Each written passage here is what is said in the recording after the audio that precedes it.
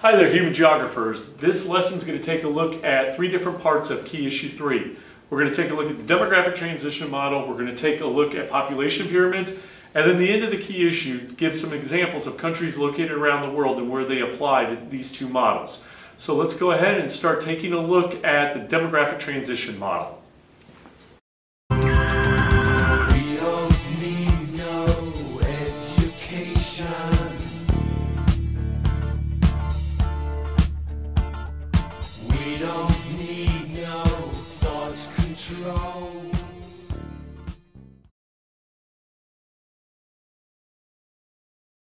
All right, so now we're going to take a look at the demographic transition model. The demographic transition model officially has four stages in it.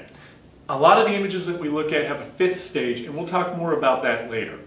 Stage one is the first one we're going to take a look at. And when we look at stage one, we're going to see that it is characterized by high birth rates and high death rates. And it has a steady lower population.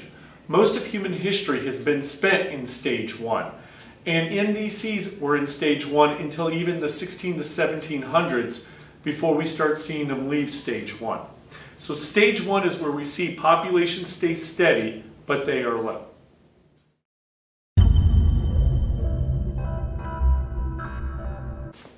Stage two of the demographic transition model is where we start to see death rates lower immensely. Birth rates are going to stay the same, but the death rates are starting to decrease. This is due to the Industrial Revolution. We start seeing increases in medicine. We start seeing increases in healthcare. Uh, we start seeing penicillin being invented. We know about pasteurization at this point.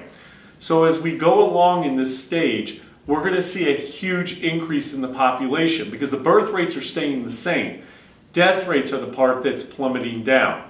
We start to see a lot of people moving to cities because machines are taking jobs that are on the um, out in farmland tractors, machines like that. So people are flooding into the cities and we start seeing cities grow at this point. Now in more modern day history, Sub-Saharan Africa was pushed into stage two because they were lagging behind in stage one. But they move into stage two because of what we call the medical revolution. And because of the medical revolution and new vaccinations and better medicines, we're going to start seeing places like Sub-Saharan Africa move into stage three of the demographic transition model.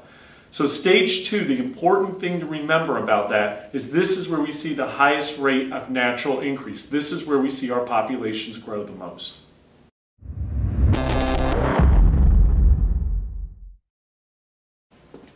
Stage three is the moderate growth stage. When we take a look at stage three, we start to see the CBRs decreasing.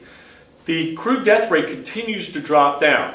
The crude birth rate is starting to join it now. So we still see an increase in population. We still see a higher NIR.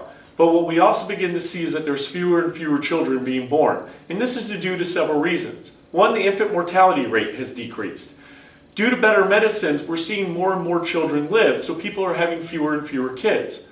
We also know that lifestyle in the cities is a little bit more cramped. And you don't need children to be working on the farms, so families are having fewer and fewer children. The key behind uh, stage three is that we start seeing growth, but it's a little bit slower. And we're going to continue to see that decrease until we move into stage four. Stage four is called the low growth stage. We also will see it called the zero population growth stage or ZPG.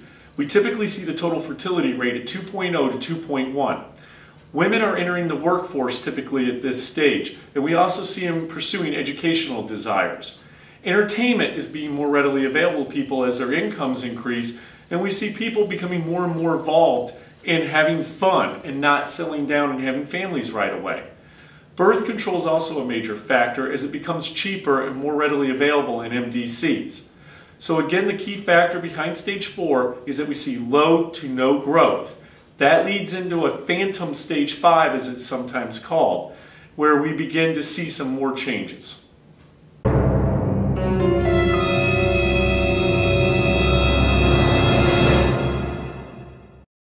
And that takes us to our final stage. Stage five is a phantom stage. Some geographers agree it's there, some disagree.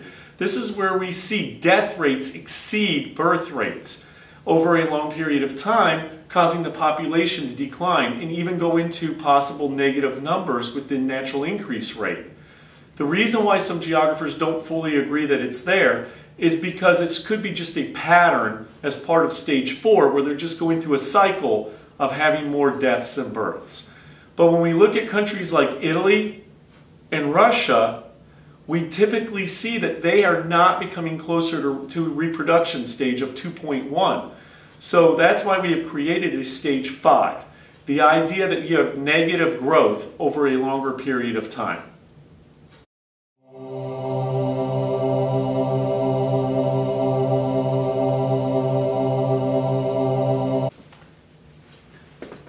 That takes us to population pyramids. As we get to explore population pyramids, the key is that we first of all have to look that they're all set up the same way. Population is always across the bottom. That can be done by percentage of a society or it can be done in the millions. Down the middle of the population pyramid diagram is always the age groups. And we'll always see them in increments of five. We'll see 0 to 4, 5 to 9, 10 to 14, and so on. Males are always on the left of the diagram, females are always on the right of the diagram. If the sex diagram, age sex diagram as it's sometimes called, is confusing, just cover half of it, turn it, and you're going to see it's just a bar graph. And we're just comparing how many females and males we have in each age group, and then how many total we have in each age group. Now when we compare this to the demographic transition model, what we're going to see is in stage one, a population pyramid is very, very steep. It's got a very wide base and it's a little bit narrower in the middle. At stage two, our middle of our pyramid is starting to fatten a little bit as life expectancy continues to increase.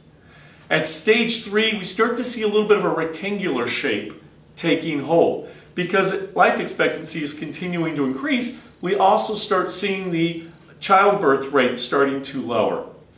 Finally, we have stage four, and in stage four, we really see the rectangular shape taking place. We see that people are living longer and longer, and we're having fewer and fewer children.